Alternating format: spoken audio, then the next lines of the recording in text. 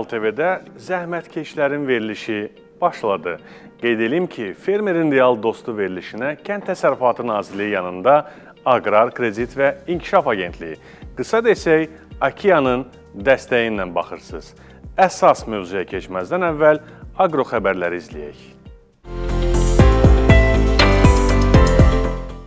Qoyunçuluq və arıçılıq təsərrüfatlarını işğaldan azad edilmiş Laçın və Kəlbəcər yaylıqlarına aparmaq istəyən fermerlərin qeydiyyatına start verilib. Qeydiyyat prosesi elektron kənd təsərrüfatı informasiya sisteminin alt modulu olan köç iagro.az portalında həyata keçirilir. Qaydalara əsasən Şərqi Zəngəzur və Qarabağ iqtisadi rayonlarından olan fermerlər öz təsərrüfatlarını Laçın və Kəlbəcər yaylıqlarına köçürə bilərlər. Bu iqtisadi zonalardan olan 40 və daha artıq arı ailəsinə sahib fermerlərə öz arıçılıq təsərrüfatlarını yaylaqlarına, Laçın və Kəlbəcər yaylaqlarına köçürməyə icazə verilir. Yaylaqlara aparılacaq arı ailələri identifikasiya nömrəli və ektistə qeydiyyatda olmalıdır. Eyni kateqoriyadan olan təsərrüfatlarında 200 başdan artıq xırda buynuzlu heyvan olan fermerlər də təsərrüfatlarını Laçın və Kəlbəcər yaylaqlarına köçürə bilərlər. Təsərrüfatlarını yaylaqlara köçürmək istəyən Şərqi Zəngəzur və Qarabağ iqtisadi rayonlarından olan fermerlər təsərrüfatın yerləşdiyi rayon üzrə Dövlət Aqrar İnkişaf Mərkəzlərinə müraciət etməlidir. Kənd Təsərrüfatı Nazirliyi tərəfindən Paşa Holdinqin dəstəyi ilə həyata keçirilən Aqrar Fəaliyyətli Azərbaycan Qadınları layihəsinə qeydiyyat davam edir. Kənd təsərrüfatı sahəsində aktiv iştirakı olan və aqrar biznes fəaliyyətləri həyata keçirən qadın fermerlər afaq.az saytı vasitəsilə layihəyə müraciət edə bilərlər. Tələblərə cavab verən fermerlər layihə çərçivəsində göstərilən dəstək tədbirlərindən faydalana biləcəklər. Dəstək tədbirləri aqrar sahədə bilik və bacarıqların artırılması təlimlərindən təsərrüfatların inkişafı üçün texniki texniki dəstək və konsultasiya imkanlarından ibarətdir. Təlimlər ümumi biznes bacarıqları və fermerlərin məşğul olduqları sahələr üzrə xüsusi mövzuları əhatə edəcək. Qeyd edək ki, AFAQ layihəsinin əsas məqsədi qadınların məşğulluğunun, onların informasiya, resurs və bazarlara çıxış imkanlarının, eyni zamanda qadınlar tərəfindən idarə olunan aqrar biznes subyektlərinin sayının artırılmasına və regionlarda sosial-iqtisadi rifahın yaxşılaşdırılmasına töhfə verməkdir. Bu günədək layihəyə 600-ə yaxın müraciət daxil olub. 181 müraciətçinin təsərrüfatına baxış keçirilərək qiymətləndirmə sorğusu aparılıb. Layihənin tələblərinə cavab verən ümumilikdə 151 təsərrüfat sahibinə isə müvafiq avadanlıqlar və aktivlərlə dəstək göstərilib. Layihəyə qeydiyyat prosesində çətinlik çəkən və ya əlavə sualı yaranan şəxslərdən 994 50 488 99 telefon nömrəsi ilə əlaqə saxlamaları xahiş olunur.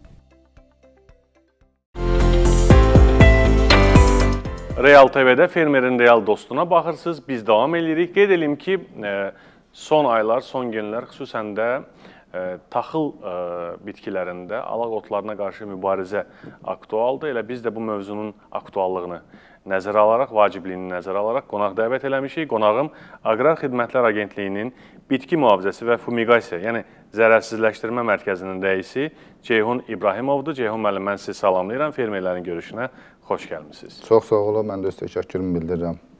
Ceyhun müəllim, e, bölgələrimizdən asılı olaraq, e, yəni deyək ki, Dəmiyə bölgəsində əkilən taxıl və Aran bölgəsində əkilən taxıldan asılı olaraq bu müəyyən bir dövrü var. Yəni taxılın e, boy atma dövrü var, belə demək mümkünsə. Təbii ki, bu ərazilərə görə dəyişir, amma ümumilikdə götürsək hal-hazırda fermerləri qayğılandıran, onlar üçün ən vacib məsələlərdən biri taxılda alaq otlarının təmizlənməsidir. Yəni bununla mübarizə məsələsidir. Giriş üçün istəyərdim ki, söhbəti başlayaq ondan ki, taxıl sahələrində ən çox yayılan alaqlar hansılardır və alaqların məhsul e, e, itkisinə təsiri hansı formadadır ümumiyyətlə? Taxıl əkinlərində ən çox yayılan turpəng, vələmir, xardal, çöl xardalı, qanqal bu kimi alaqlardır və məlumatınız olsun ki, o alaq otları digər mədəni bitkilərdən əvvəl inkişafa başlayır və güclü kök sistemi yaradaraq özünü mədəni bitkilərdən daha sürətlə inkişaf etdirir və bu nöqteyi nəzərdən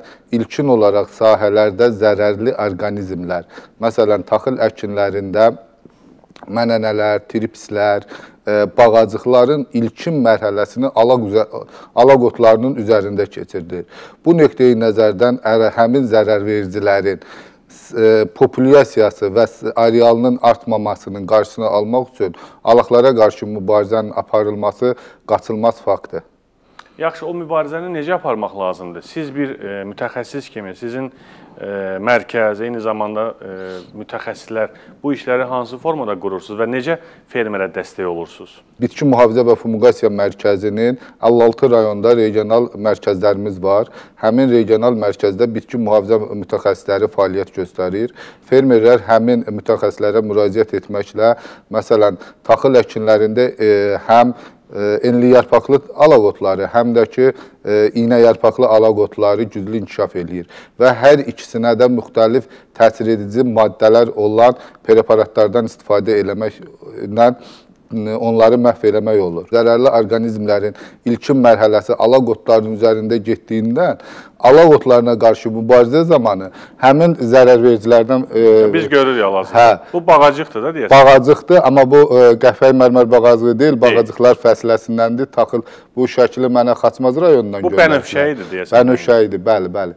Demək, e, həmin e, herbisidlərin e, dərmanlaman zamanı herbisidlərə müəyyən qədər insektitlər qatmaqla çən qarışığı hazırlanır və taxıl əkinlərində həm zərərli cücülərə, həşəratlara, həm də ki, alaq otlarına qarşı eyni, eyni vaxtda mübarizə tədbirləri aparmaq mümkündür və biz həmişə fermerləri marifləndiririk bu istiqamətdə ki, iki dəfə mübarizə tədbirləri aparmasınlar.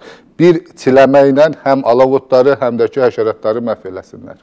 Bu nəyə görə bunu məsləhət görürsünüz? Bu həm e, sərfəlidir yəqin ki, eyni zamanda Bəli. yəqin ki, təbiətə çox da ziyan vurmamaq e, məhsuldarlığa daha da ziyan vurmamaq üçündür. Düzdürmü, yoxsa necə? Bu ən əsası fermerin maya dəyərinin aşağı salınması Hı -hı. və xərclərin azaldılması, xərclərin azaldılması və e, texnikanın bir dəfə sahəyə gir girməsi ilə bu e, biri var texnika iki dəfə sahəyə girə. Müəyyən qədər zədələr əmələ gəlir. Düzdür, kollama fazasında taxıl özünü bərpa eləyir. Amma bu bir dəfədə elə bil ki, iki dəfə e, iki dənə zərərli orqanizm üçün mübarizə tədbirləri aparılır. Aydındır. Yaxşı, agrotexniki mübarizə tədbirləri necə aparılmalıdır? İstəyərdik ki, biraz bunu daha da detallı, daha da ətraflı deyəsiniz. Məlumdur ki, alaq otlarının toxumları torpaqda 3-5 e, ilə qədər yaşaya bilir. Bunları nəzərə alaraq ilkin növbədə taxıl əkən fermerlərə tövsiyə edirəm ki, taxıl biçilən vaxtı yay şumunun aparılması Bəli. E, çox vacibdir. Agrotexniki tədbirlərin əsasını təşkil eləyir. Yay şumundan sonra isə payız ayında əgər e, sahədə alaq otlarından düzərmə varsa, e, cücərmə kütləvidirsə, müəyyən qədər şumun aparılması və yaxud da çiz elmalarının çəkilərək alaq otlarının məhv edilməsi bu böyük bir e, alaq otlarının sayının azalmasına səbəb olur. Nəinki alaq otlarının, eyni zamanda orada zərər vericilər zərər varsa, onları da məhv edir. Yəni, bəli, bu, bəli. Yay şumunla bağlı, eyni zamanda hətta qış şumu da var. Biz qonaqlarımızla danışmışdıq. Soyuq aylarda qış şumunda eləmək lazımdır ki, Bu da e, fermerlərə yəni önəmli məsələlərdən biridir. Siz dediyiniz kimi həm alaq otlarını, həm də zərər vericiləri məhv eləmiş olur. O qış şumu e, yaz əkinləri, yaz bitkiləri üçün nəzərdə Bəli. tutulur, amma taxıl bitkisi qış dövründə ə, e, inkişafda olur, cücərir və yaxud da müəyyən fazada olduğuna görə qış bu ə, qış şumunu ə, yaz əkinləri üçün nəzərdə tutulurlar. Doğrudur. Yaxşı, sahədə zərərverici müşahidə olunursa, yəni fermer görür ki, sahəsində bayaq göstər göstərilən o şəkil var idi. Siz dediniz hansı rayondan göndərilib? E, Xaçmaz rayonundan. Xaçmaz rayonundan. Yəni misal üçün fermer bunu gördü. Həm alaq otlara, həm də zərərvericiyə qarşı mübarizə işlərini e, eyni vaxtda və yaxud da dərhal necə e, aparmalıdır? Nədən başlamalıdır birinci növbədə? Kimə məlumat verməlidir? Əslində qeyd elədiniz qismən, bölgələrdə sizin filiallarınız var, amma daha operativ olaraq. Yəni gördüm mən bunu, şəklini çəkdim və s. Ondan sonraki nə etməliyəm? Yəni bir fermer kimi soruşuram sizdən. Taxıl əkinlərində alaq otlarına e, yanaşı, həm də ki, orada incənə də vurğuladım, yenə təkrar eləyirəm, bağacı, ziyankar bağacıqdır, mənənələrdir, tripslərdir. Bunlar e, kütləvi şəkildə olur və bunlar müşahidə edildikdə, məsələn, istifadə olunan 2D amin duzunla e, duzu hazırlanmış preparata alfa supermetrin, supermetrin, deltametrin və sair kimi təsir edici maddəsinə malik olan insektitlərdən də qarışdırılaraq çən qarışığı hazırlanaraq sahəyə tətbiq edilməlidir. Bu çən qarışığını hazırlamamışdan qabaq mütəxəssislərlə məsləhətləşmək lazımdır. Nə üçün? Çünki hər bir təsir edici maddənin bir kimyəvi tərkibi var və bunlar qarışdırılan zaman e, çəndə çöküntü verə bilər. Əgər çöküntü əmələ gəlirsə, həmin o e, hazırlanmış işçi məhlulu sahəyə istifadə eləmək lazım deyil. Çünki orada e, istifadə olunarsa, nə o e, sizin sahədə nə alaq otunu, nə də həşəratları məhv edəcəkdir. Onu əgər çöküntü vermirsə, həmin qarışıqlardan geniş sahələrdə istifadə eləmək mümkündür. Və Buna yenə, diqqət eləməlidir fermerlər. Diqqət, çox diqqətli məsələdir, əsas məsələdir və onun da çən qarışığının hazırlanmasında ancaq yerli bitki mühafizə mütəxəssislərinin iştirakı, məsləhəti ən vacib məsələlərdən biridir. Yaxşı. Və bu dərman preparatları ki var, istifadə olunur zərərvericilərə və yaxud da alaq otlarına qarşı. Bunların ümumi, yəni təbiətimizə, ümumiyyətlə təsərrüfata, torpağa e, mənfi təsirini aradan qaldırmaq üçün hansı təhlükəsizlik tədbirləri görməlidir? Bu da önəmlidir axı, düzdürmü? Yəni loru dildə desək, Ceyhun müəllim, necə gəldi, hansı formada gəldi, yəni e, zərərvericini və yaxud da e, alaq otlarını məhv eləmək olmaz. Bu təbiətə də ziyan ola bilər. Bu məqamda fermer e, hansı formada addım atmalıdır və təhlükəsizlik məsələləri necə təşkil etməlidir? E, düzgün vurğuladınız. Ən böyük amil insan sağlamlığıdır. Biz onu daimən nəzarətdə saxlayırıq və bunun üçün yenə təkrar edirəm mübarizə tədbirlərində mütəxəssislə məsləhəti almadan bu işlərin aparılması çətinlikdir və problemlər yaşaya bilərik. Təhlükəsizlik qaydaları da odur ki, kimyəvi maddələrdən istifadə zamanı geyim formalarına, aspiratordur, gözlükdür, əlcəklərdən istifadə olunmalıdır və onu səhər, axşam dərmanlama aparmaq lazımdır. Küləkli vaxtlarda dərmanın aparılmasına icazə verilməməlidir. Dərmanlama müddətində yemək, e, su, siqaret çəkilməsindən qaçılmalıdır və öz sağlamlığını qorumaq üçün bu e, bunları nəzərdə saxlamalı və gözləmələri şərtdir. Eyni zamanda dərmanların e, istifadəsində miqdar, yəni həcmi məsələlərinə diqqət eləmək lazımdır ki, yəni konkret yəqin ki, bir belə deyək də hektara görə və yaxud da əraziyə görə bəlli bir e, miqdarda istifadə olunmalıdır. Aşırı dərəcədə e, istifadə olunması həm də ziyan deməkdir, düzdürmü? Bəli, bəli. E, hər bir e, respublikaya daxil olan pestisidin üzərində xarakteristikası var. Həmin istifadə qaydaları istifadə var. qaydalarına uyğun olaraq həmin pestisidlərin istifadə normaları qeyd olunub. Həmin normalardan istifadə etməklə ə, e, əkin sahələrində kimyəvi mübarizə tədbirlərini həyata keçirdə bilərlər. Hər bir ə, e, kimyəvi preparatın torpaqda, bitkidə qalma müddəti var tez parçalanan, orta gec parçalanan e, siniflərə bölünürlər və bunu həmin müddətdə müddəti gözləmək lazımdır və hər bir e, dərmanlanmış sahənin e, diqqət və beləsi beləsi bir plakat asılmalıdır ki, həmin sahəyə e, digər şəxslərin girişi qadağan olunsun. Bəlli bir müddət ərzində. Bəlli bir müddət, bir həftə, 10 gün o e, özünün o dərmanın xarakteristikasında qeyd olunubdur hamısı. Çox gözəl.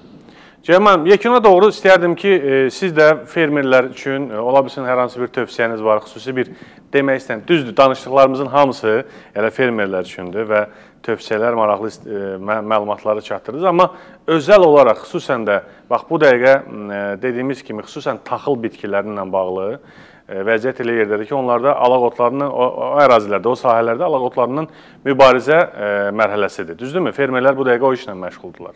Ola bilsin özəlliklə demək istədiyiniz xüsusi bir tövsiyə, məsləhətiniz varsa, ə, qısa olaraq ona işləyək. Buyurun. Düzdür, bugünkü mövzumuz taxıl əkinlərində alaq otlardır, amma onu da vurğulayım ki, təkcə taxıl əkinlərində deyil, həm də ki, yaz əkinlərində alaq otları kifayət qədər inkişaf eləyir və ciddi ziyanlar vurur. Həm məhsuldarlığa, həm məhsulun keyfiyyətinə ciddi ziyanlar vurur. Bunun qarşısını almaqdan ötürü yaz əkinlərində əkindən qabaq torpaq herbislərindən istifadəyə üstünlük vermək lazımdır.